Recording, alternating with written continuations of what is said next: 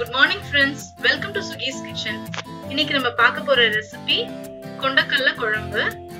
இது எப்படி பண்ணலாம்? அதுக்கு என்னென்ன இன்கிரீடியன்ட் தேவைன்றதை நம்ம முதல்ல பார்ப்போம். அதுக்கு முன்னாடி இப்போதான் என்னோட ஃபர்ஸ்ட் டைம் என்னோட சேனலை நீங்க பாக்குறீங்க அப்படின்னா சப்ஸ்கிரைப் பண்ணுங்க பெல் பட்டனை டேப் பண்ணுங்க. ஸோ நான் நியூ நியூவா போடுற வீடியோஸ் எல்லாம் நீங்க பார்த்து என்ஜாய் பண்ணலாம்.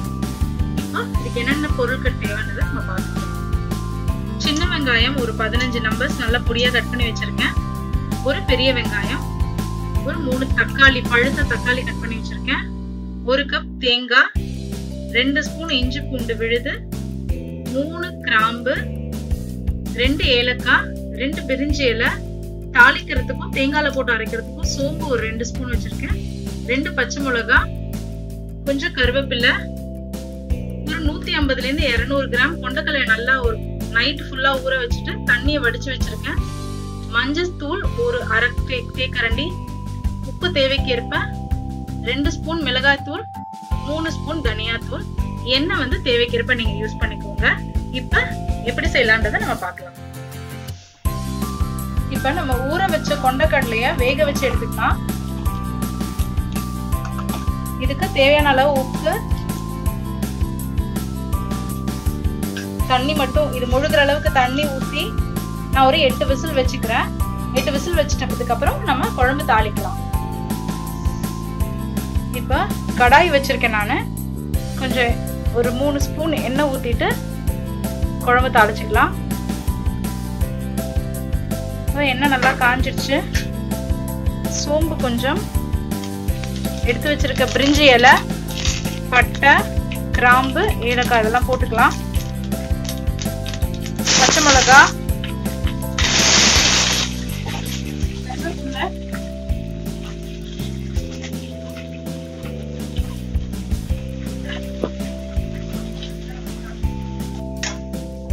இதெல்லாம் நல்லா வதங்கிடுச்சு. இப்போ வெங்காயம் போட்டுடலாம்.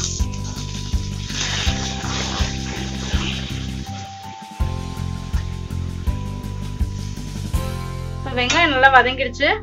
ரெண்டு ஸ்பூன் இஞ்சி பூண்டு போட்டுடலாம்.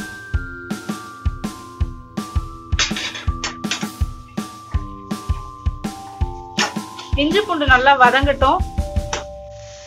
இப்போ இஞ்சி பூண்டு நல்லா வதங் வதங்கிடுச்சு. இப்போ நான் தக்காளி பழத்தை போட்டுக்கிறேன்.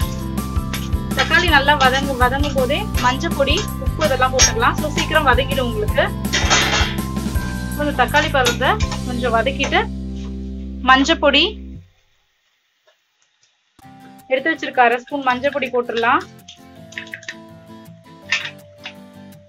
உப்பு இது வதங்கிறதுக்காக கொஞ்சம் போட்டுக்கிறேன். ஒரு அரை ஸ்பூன் இப்போ இதை நல்லா வதங்க விட்டுடலாம்.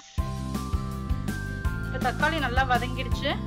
இப்போ மூணு ஸ்பூன் தனியா பொடி எடுத்து வச்சிருக்கேன். இந்த மூணு ஸ்பூன் தனியா பொடியை நான் போட்டுடுறேன்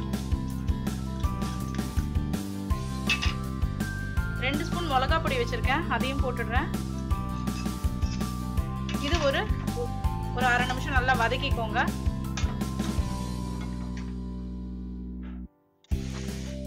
இப்போ இந்த மிளகா பொடியெல்லாம் நல்லா வதங்கிடுச்சு. இப்போ வேக வச்சு வச்சிருக்க கொண்டக்கல்ல போட்டுக்கலாம். ஒரு வதக்கு வதக்கிக்கிட்டு இந்த வேக வச்ச தண்ணி நம்மளுக்கு இருக்கு. அந்த தண்ணியை வேஸ்ட் பண்ணாம இதுல நம்ம ஊத்திக்கலாம் குழம்புக்காக. இப்போ இந்த வேக வச்ச தண்ணி வச்சிருக்கேன். இந்த தண்ணியை நான் இப்போ ஊத்திக்கிறேன்.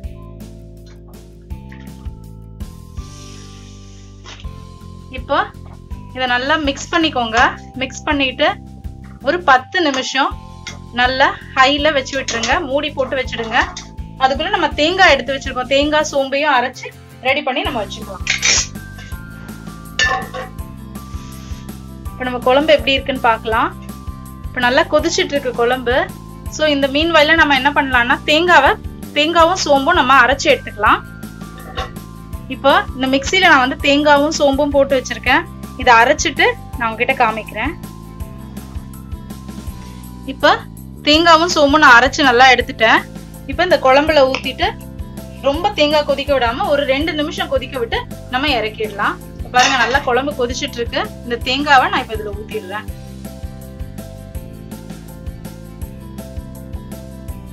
இது ஒரு டூ மினிட்ஸ் கொஞ்சம் தேங்காய் கொஞ்சம் லைட்டா இது வேணா போதும். ரொம்ப கொதிக்கணும்ன்ற அவசியம் இல்ல. இது வந்து நீங்க இட்லிக்கு தோசைக்கு சாப்பாட்டுக்கு சப்பாத்திக்கு எதுக்கு வேணும் ரொம்ப நல்லா இருக்கும். இதை நீங்க டேஸ்ட் பண்ணி பாருங்க. ஒரு டூ மினிட்ஸ் கழிச்சு உங்களுக்கு நான் டிஸ்பிளேல வச்சு காமிக்கிறேன். எப்படி இருக்குன்னு பார்க்கலாம். வாவ் பார்க்கவே செம்மையா இருக்கு நம்ம கொண்டக்கல்ல குழம்பு. இதை கண்டிப்பா நீங்க ட்ரை பண்ணும் ஃப்ரெண்ட்ஸ் ட்ரை பண்ணிட்டு கமெண்ட்ஸ்ல உங்க ரிவ்யூவை போஸ்ட் பண்ணுங்க. நல்லா சாப்பிடுங்க நல்லதையும் சாப்பிடுங்க. ஹெல்த்தியா இருங்க. Bye friends